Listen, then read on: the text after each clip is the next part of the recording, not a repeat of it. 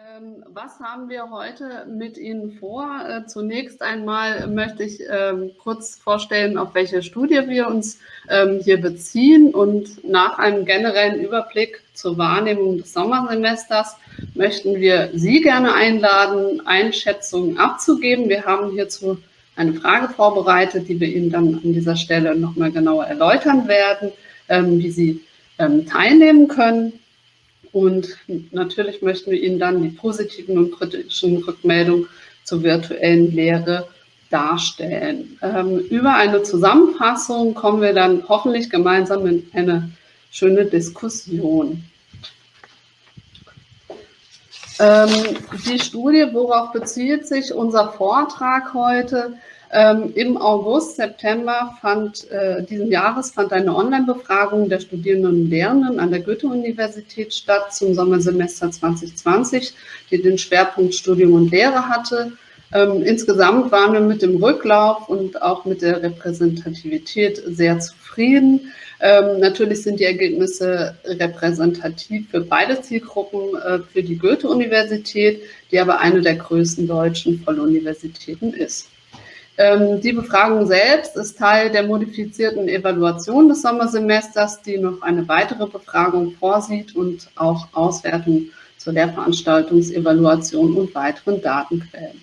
Entwickelt wurde das Konzept gemeinsam ähm, mit universitätsweiten Einrichtungen und insbesondere beteiligt waren Studium Digitale und das interdisziplinäre Kolleg Hochschuldidaktik unserer Universität. Ähm, jetzt möchte ich Ihnen aber erstmal einen generellen Überblick ähm, zur Wahrnehmung des Sommersemesters hier darstellen. Und wir haben die Rückmeldung erhalten, dass ein Großteil der Studierenden und Lehrenden mit der virtuellen Lehre zufrieden war. Ähm, bei den Lehrenden ist der Anteil äh, 77 Prozent, die sagten, dass sie mindestens eher zufrieden waren, bei den Studierenden 64 Prozent.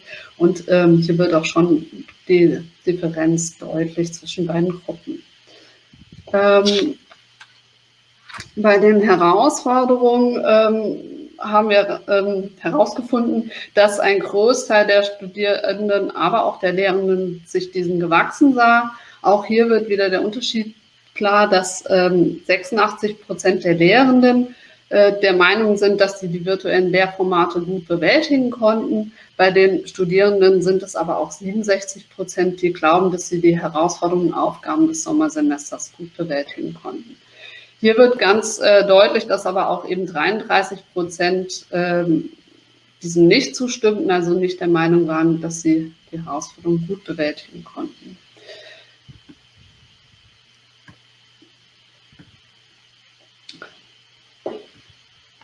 Jana, darf ich dich?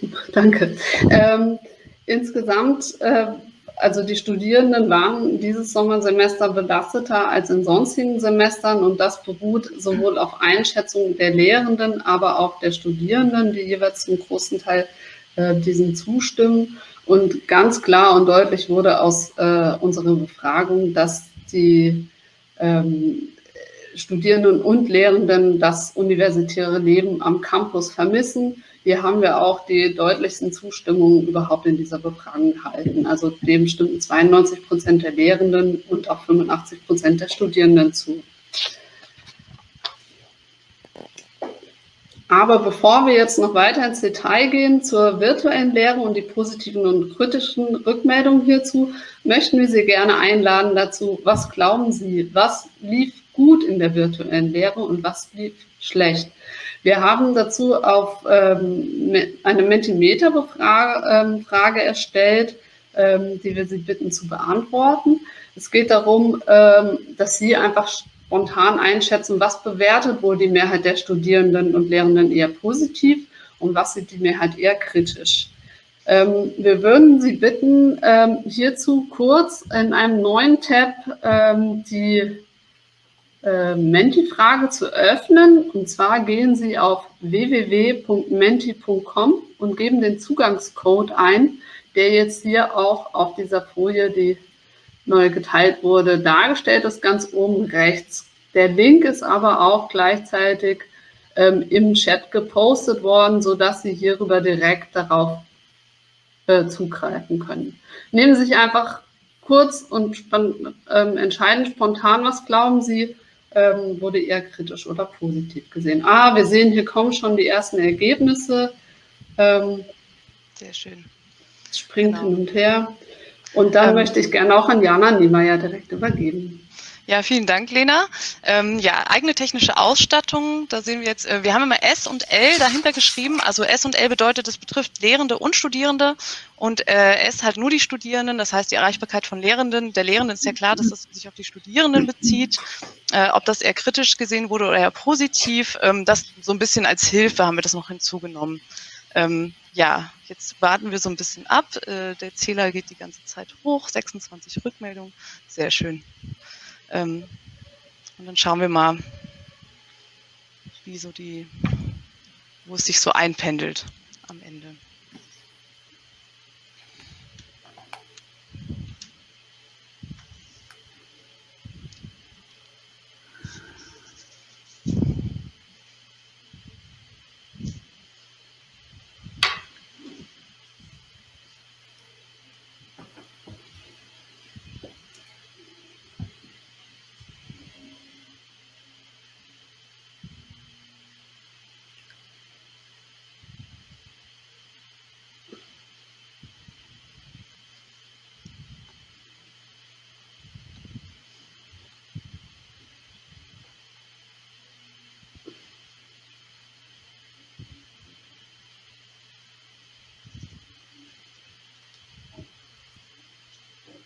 Ähm, ich habe gerade eine Rückmeldung, dass Menti nicht lädt. Vielleicht gibt es da nochmal einen Tipp. Vielleicht einfach nochmal refreshen. Mhm. Über den Eingangscode sollte es auf jeden Fall äh, funktionieren. www.menti.com und dann den Eingangscode, der hier auf der Folie oben steht. 1208749 ohne Leerzeichen. Mhm. Ja, wir sehen jetzt äh, schon so ein bisschen Tendenzen. Wir haben jetzt äh, nichts, was ganz positiv ist. Also es ist auf jeden Fall ähm, viel in der Mitte. Das heißt, eigene technische Ausstattung ist so bei 0,6. Erreichbarkeit der Lehrenden gerade genau in der Mitte äh, auf den Polen. Ähm, dann eigene digitale Kompetenz auch ein bisschen positiver bei 0,6. Äh, Unterstützungsangebote bei 0,4. Flexibilität virtueller Tools, wie das gesehen wird von Lehrenden und Studierenden bei 0,6 und ja, die beiden mit am negativsten Punkte sind aktive Beteiligung und äh, Zugehörigkeitsgefühl in Lehrveranstaltungen.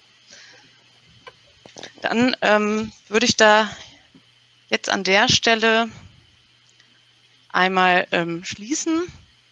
Es haben jetzt auch sich fast 50 Personen beteiligt. Das ist sehr viel. Vielen Dank. Ähm, und hör auf mit dem Teilen und mach weiter in dem Vortrag. Und wir, uns geht es jetzt darum, Ihnen die positiven und die kritischen Rückmeldungen einmal vorzustellen und auch das so ein bisschen abzugleichen mit Ihren Einschätzungen an der Stelle. Das heißt, wir haben jetzt, ähm, ich klicke mal auf die richtige Folie, bei mir lädt das nämlich immer so ein bisschen. So jetzt geht's aber. Genau, also wir haben ja eben gesehen, dass 0,6, also sie so ein bisschen unentschieden waren, was die technische Ausstattung angeht, ob das positiv oder negativ äh, eingeschätzt wurde oder kritisch eingeschätzt wurde von unseren beiden Gruppen.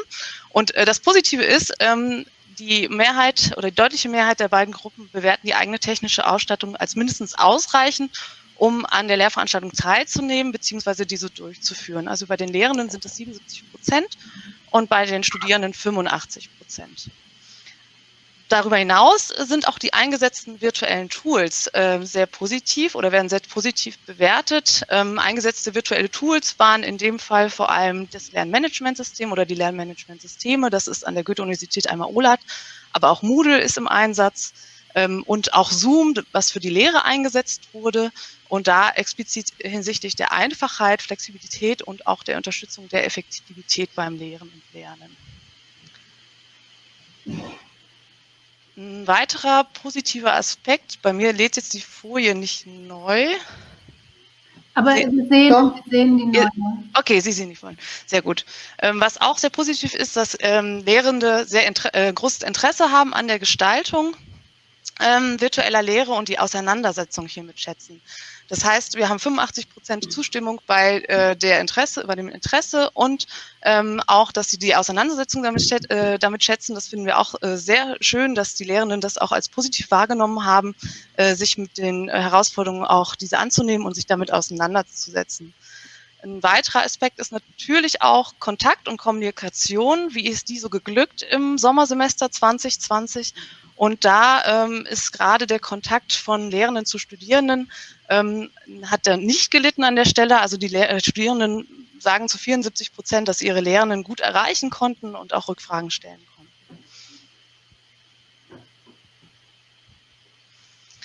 Ja, und ein noch wichtiges Thema, äh, was äh, auch sehr schön, sehr positiv ist natürlich, was wir uns auch gewünscht haben, dass der Zuwachs der digitalen Kompetenz dass sie da auch sehr stark zustimmen äh, oder sie äh, zumindest sagen, dass sie das sehr deutlich äh, oder eher deutlich, deutlich entwickeln, weiterentwickeln konnten. Das ist bei den Studierenden bei 69 Prozent der Fall und bei den Lehrenden bei 81 Prozent. Das heißt, es ist auch sehr positiv an der Stelle. Ähm, bei den Studierenden vielleicht nochmal als Randnotiz äh, ist es zudem so, dass die Studierenden ähm, bei dem äh, bei der Selbsteinschätzung, was ihre ihr eigenständiges, selbstständiges Arbeiten angeht, den höchsten Wert hatten. Also ich glaube, da haben auch einige was dazugelernt in diesem Semester, aber das nur am Rande.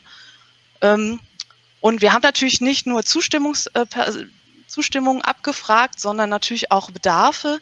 Und da kam auch raus, dass die Lehrenden eigentlich mit der Unterstützung, die es seitens der Universität gibt, schon sehr zufrieden sind.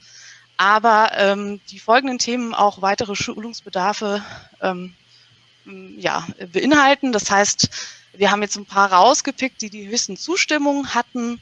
Es gibt noch mehr, aber äh, vor allem rechtliche Aspekte virtueller Lehre sind dann Thema. Das sagen 63 Prozent.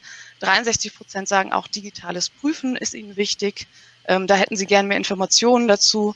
Und äh, elektronische Literaturversorgung sollte auch weiterhin noch ausgebaut werden. Das, da stimmen 70 Prozent zu und auch das LMS, also Lernmanagementsysteme effektiv zu nutzen. Auch das wünschen sie sich, dass da noch mehr Informationen zukommen. Ähm, was auch spannend war, dass fast 50 Prozent auch ähm, intelligente Lernassistenzsysteme sich wünschen, die sie unterstützen in der Lehre. Und dann gebe ich jetzt an meine Kollegin Susanne weiter, die die kritischen Punkte vortragen wird. Ja, vielen Dank, liebe Jana, vielen Dank, liebe Lena. Wir freuen uns natürlich, dass wir so viel positive Rückmeldungen zum Sommersemester erhalten haben. Natürlich haben wir aber auch kritische Rückmeldungen erhalten. Wir haben ja schon gehört, dass Studierende und Lehrende das Campusleben vermissen, aber das bedeutet auch, dass sie ganz konkret im Studium, beim Lernen, den persönlichen Kontakt vermissen. Also wir haben herausgefunden, dass über die Hälfte der Studierenden keinen guten Kontakt zu Kommilitoninnen während des Semesters hatten, also zum Beispiel in Lerngruppen oder in Chats. Und äh, jede zweite Studierende, jeder zweite Studierende beim Besuch virtueller Lehrveranstaltungen nicht das Gefühl hatte, dazuzugehören. Und da lagen sie in ihrer Mentimeter-Abstimmung äh, ganz richtig.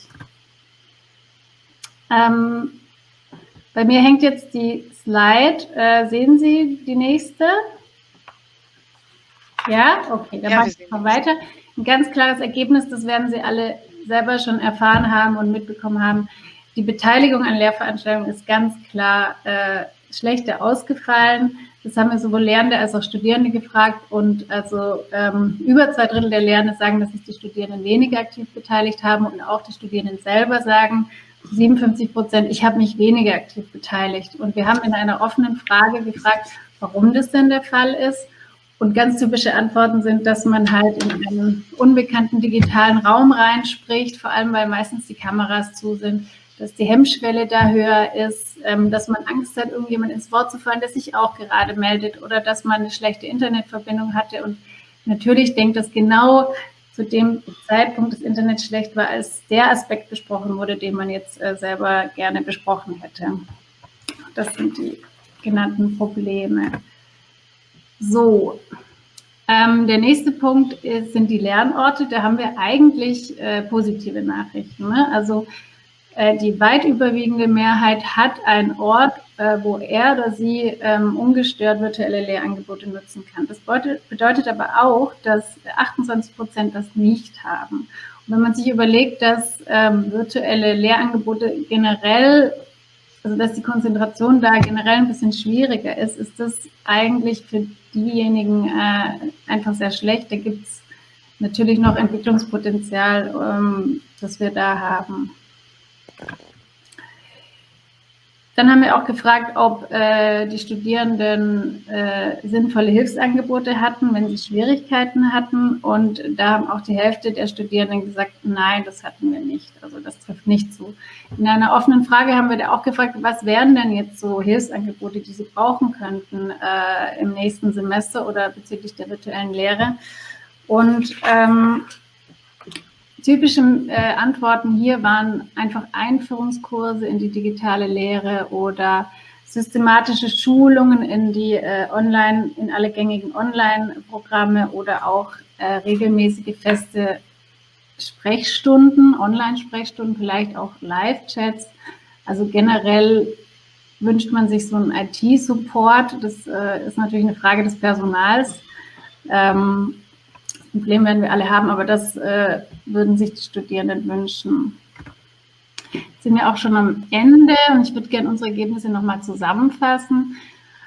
Die Dinge, die wir positiv sozusagen rückmelden können von unserer Evaluation, ist, dass die Studierenden und Lernenden ihre technische Ausstattung als gut ähm, empfinden, dass die virtuellen Tools als flexibel äh, empfunden werden, dass die Lernenden richtig Lust haben, also zumindest die Mehrheit äh, virtuelle Lehre zu gestalten, dass die digitale Kompetenz seitens Studierende und Lernende natürlich zugenommen hat und dass die Lehrenden äh, überwiegend zufrieden sind mit den Unterstützungsangeboten, die ihren, ihnen geboten wurden. Ähm, das größte Potenzial für Weiterentwicklung, was wir sehen, ist, den Austausch unter Kommilitonen zu fördern, ähm, also auch dort haben wir nochmal Studierende gefragt, was, was, wie könnten wir das machen? Und dann kamen Vorschläge wie ein virtuelles Studierendencafé einrichten, also einfach virtuelle Räume, wo sich die Studierenden treffen können und wo sie zusammenarbeiten können. Und das ist natürlich so, es gibt sicherlich sehr viele Lern- und sehr viele Lehrveranstaltungen, wo das gemacht wird. Aber aus unserem Ergebnis sehen wir auch, es gibt sehr viele, die das nicht machen, auch gerade in Fachbereichen oder äh, Lehrveranstaltungsformen, wo das äh, nötig wäre, wie zum Beispiel Seminare. Dann ähm, müsste man die ähm, Beteiligung an Lehrveranstaltungen steigern. Das ist natürlich, geht es sowohl aufs Konto der Studierenden, die sich einfach auch mehr beteiligen sollten, aber auch auf das äh, To-Do, auf die To-Do-Liste von Lernen, dass man da vielleicht andere Aktivierungsmethoden ausprobiert, wie ähm, direkte Ansprache oder sowas ähm, dass das hier besser funktioniert. Dann ähm, ist natürlich die Schaffung von mehr Lernorten ein Thema und der Ausbau von Unterstützungsangeboten für Studierende. Gut, dann würden wir jetzt gerne in die Diskussion übergehen. Uns würde interessieren, ob Sie ähm, vielleicht ähnliche Erfahrungen gemacht haben oder auch äh, Studien, wo ähnliche Ergebnisse rauskommen oder auch andere Ergebnisse. Oder vielleicht nochmal können wir darüber reden, welche Ergebnisse Sie besonders überrascht haben oder ob Sie das alles jetzt ähm, bestätigen können. Und vielleicht können wir gemeinsam diskutieren, wie wir jetzt das nächste Semester besser gestalten können. Vielen Dank. Danke euch. Ähm, ich würde dann einfach direkt mal einsteigen mit den ersten Fragen, die während des Vortrags ähm, gerade in Bezug auf die Umfrage selbst bzw. des Studiendesigns eingegangen sind. Ähm, Karl-Heinz Stamm hat gefragt in Bezug auf die Belastung, die ganz am Anfang wo ihr gesagt habt, dass die sich erhöht hat, in Bezug auf was? Geht es da um den Workload oder wie wurde das abgefragt? Es wurde sehr allgemein abgefragt, im Sinne von, äh, inwiefern waren Studierende belasteter in diesem Semester. Also es war wirklich eher eine globale Frage, dann um einzusteigen. Okay, super. Dann die digitale Kompetenz. Ähm, hier gab es eine Rückfrage von Kerstin Kaiser und Moritz Brückner. Ähm, wie wurde das definiert? Unter welchem, welches Konstrukt ähm, war da sozusagen leitend für die digitale Kompetenz?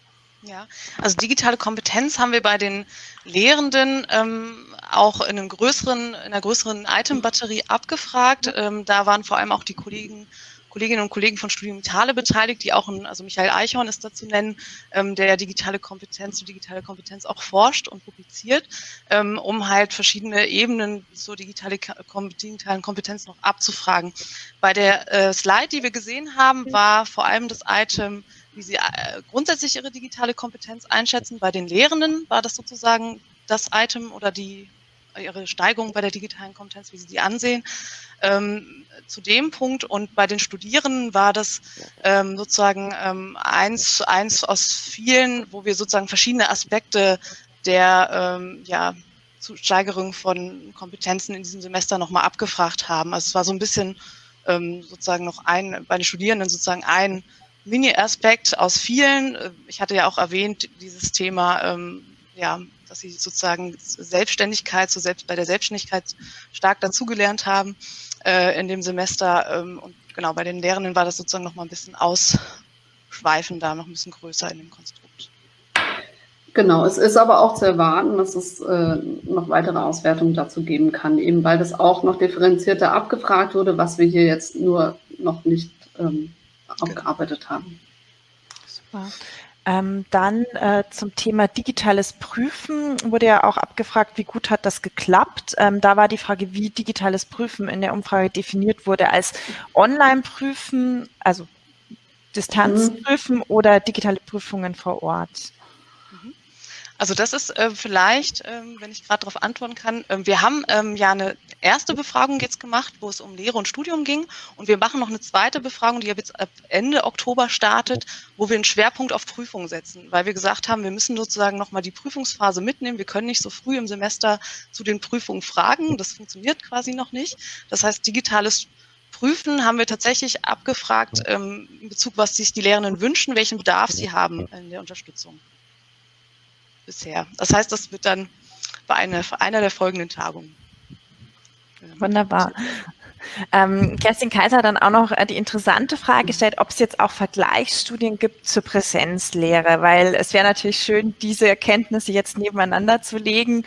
Ähm, gab, habt ihr da Material? Wir haben einzelne Items, die wir wirklich auch vergleichen können, weil wir auch uniweite Studierendenbefragungen zum Beispiel machen. Aber ähm, niemand hat damit gerechnet, dass man sowas irgendwann mal brauchen würde. Daher ähm, ist es natürlich punktuell, werden wir das tun, äh, soweit wir es können. Aber dazu möchte ich auch noch gerne sagen, dass natürlich die Items, die wir gestellt haben, sind darauf abgezielt, dass man sie eigentlich äh, nicht vergleichen müsste, also dass sie konkret auf die virtuelle Lehre ähm, abzielen. Und natürlich sind es immer subjektive Einschätzungen, ähm, die die Studierenden von sich geben. Also da gibt es immer eine Fehlerquelle, aber es ist schon so gemacht, dass es eigentlich in sich gilt. Ähm, Steffen Keimberg hat dann gefragt, ähm, welche Änderungen in Bezug eben auf die kritische Wahrnehmung von Studierenden ähm, geplant sind. Also werden die Ergebnisse jetzt direkt in neue Angebote oder veränderte der Lehrsettings auch überführt? Ähm, die Ergebnisse werden wir einspeisen in einen Kommunikationsprozess hier natürlich an unserer Uni und darüber wird sich dann entwickeln, welche Weiterentwicklung ähm, dann wirklich umgesetzt werden können und werden. Also, aber das ganz große Ziel ist natürlich, mit diesen Ergebnissen weiterzuarbeiten, ähm, die wir hier heute schon mal dargestellt haben. Danke. Ähm, Armin Enkenmeier hat dann gefragt, ähm, ob es eben einen Unterschied äh, gibt, also wie das Verhältnis ähm, zwischen höheren und niedrigeren Semestern, ob es da nochmal eine differenzierte Auswertung gab. Ähm, Tatsächlich ist es repräsentativ und ähm, wenn wir bei dem Fachsemester das erste Semester gucken, ist das so hoch wie auch, ähm, also prozentual wie auch ähm, aktuell an der Universität.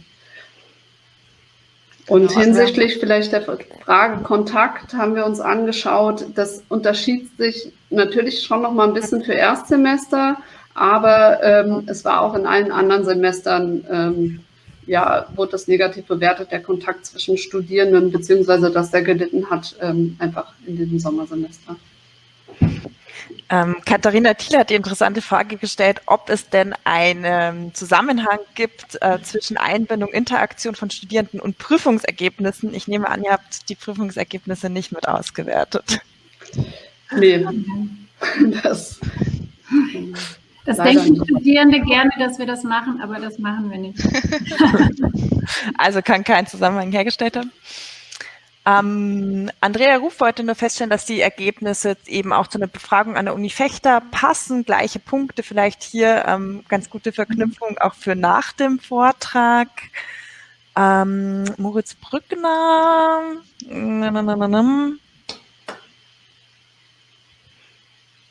Okay, gibt es nochmal konkrete Fragen? Also wurde bei der Studierendenbefragung thematisiert, ob die Lehre auf Distanz für spezifische Studierendengruppen gegebenenfalls eine Herausforderung bedeutet, also aufgrund von Fürsorgeaufgaben finanzieller Mitteln. Wurde da nochmal geguckt?